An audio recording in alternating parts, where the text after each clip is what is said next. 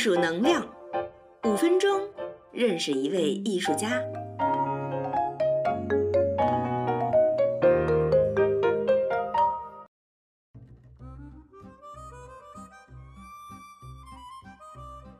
欢迎你登上艺术方舟，我是 Color 爽。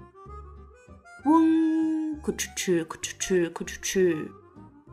火车吐着浓烟在风雨中驰行。今天我们改坐十九世纪的新型交通工具——蒸汽火车出发，去寻找艺术家透纳。天气看起来有点糟糕，可是火车上乘客的好心情似乎没有被这样的天气破坏了。大家都在为第一次坐这么快的火车而高兴。你瞧，艺术家透纳也美滋滋的坐在一个靠窗的位置，目不转睛地盯着窗外看。车窗外的景色一幕幕从他的眼前而过，风景和雨搅在一块儿，看也看不清。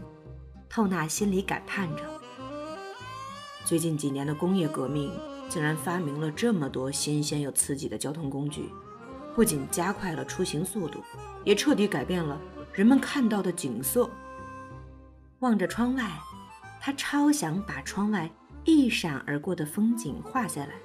可是这风和速度得怎么画呢？透纳想着，以前人画的风景都是宁静而安详的，而我想画出风景的速度和力量。想到这儿，透纳激动得坐不住了，他把头从火车窗口伸了出去。雨水借着风力，噼里啪啦地甩在他的脸上。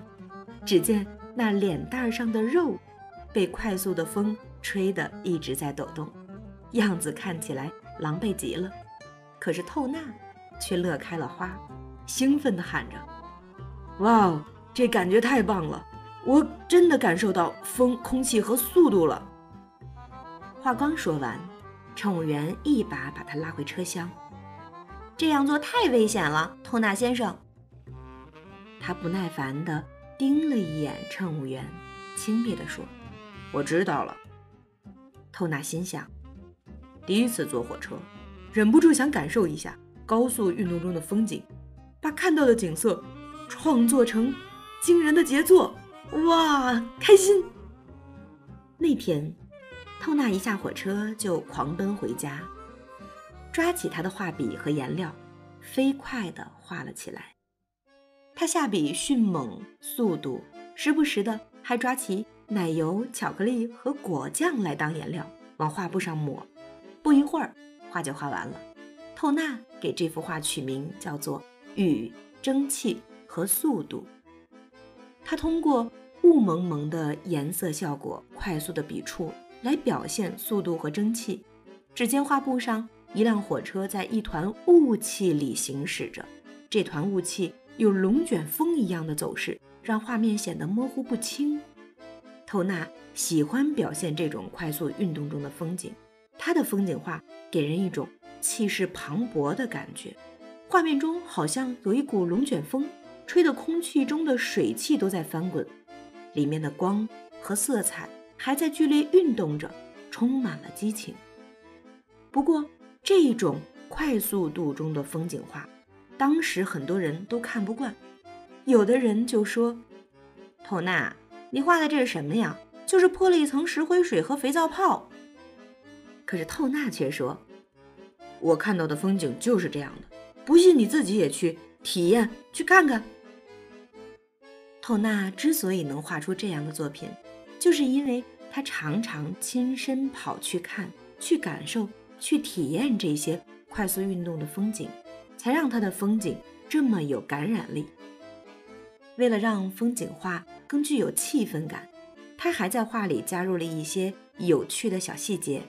不信你看，这幅画中火车头的前面有一只很小很小的褐色的小野兔在狂奔，它用尽全力地横穿轨道，四肢使劲地张开，想在。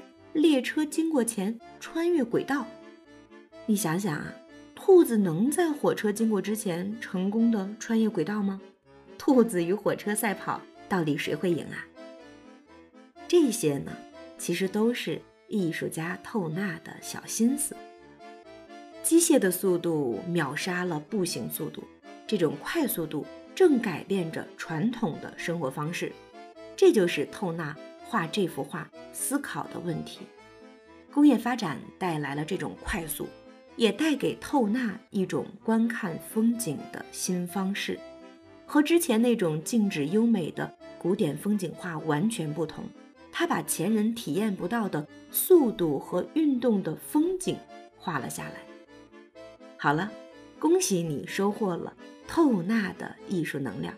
现在我们出行的交通工具速度更快了，你是不是也观察过这种快速运动中的事物呢？回想一下，那是什么感觉呢？欢迎你留言告诉我哦。感谢你和我认识一位喜欢表现速度的风景画家透纳。下一节我们要一起去认识一位躲在热带小岛。画画的神秘画家，你期待吗？